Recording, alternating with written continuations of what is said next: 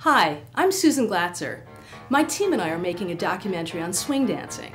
I've been dancing for 14 years now, and I want to show the world how amazing our community is, how this dance, born out of the Great Depression, brings people incredible joy. I don't want to explain it, I don't want to teach it. I want you to experience how this dance changes people's lives for the better. This film is about the pursuit of happiness. We've already shot about 70% of the film. We've got great stories and amazing dancing we can't wait to share with you. I'm on Kickstarter today because we need your help. We've put a lot of time and passion and our own money into making this film, but it's still not enough for us to finish. That's because feature documentaries cost hundreds of thousands of dollars to make. We don't have big studio money, but we do have you. You and your friends will play a big role in whether this story gets told, so we need you to give generously. You don't have to take my word for it. Please listen to original Savoy dancer Norma Miller.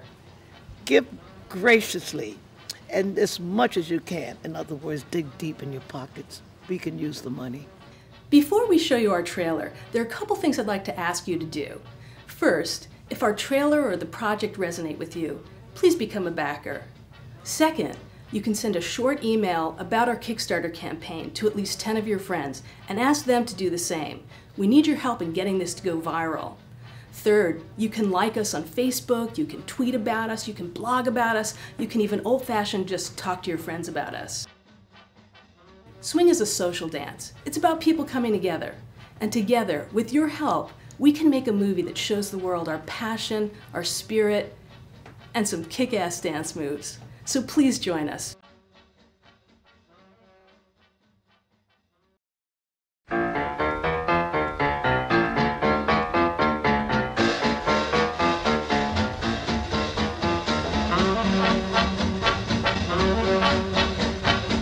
What do you think about when you dance Balboa? My, my general answer is wee! I've never done hard drugs, it's probably something like that.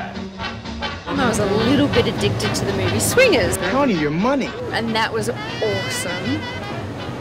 Awesome. It's a complete addiction. Just talking to a girl upstairs, I mentioned no names, but she was saying she dropped out of college to go swing dancing. When my husband first proposed to me, I told him I was already married to the Lindy Hop. Swing dancing is goofy, you know? Um, if, if, if it's tango or even salsa, you know, the men are very macho and the women are very graceful. And, you know, in swing dancing, as Christian Perry says, the, the best cartoon wins. It's beyond a joy of just dancing. It fulfills me in a way all humans need to feel connected. You get with that right person and you have that physical connection and you're moving together with the music. It is like floating on a cloud. Sharing that dance, the music, the live bands, it's everything. Pure joy set to music. One, two, one, two, three.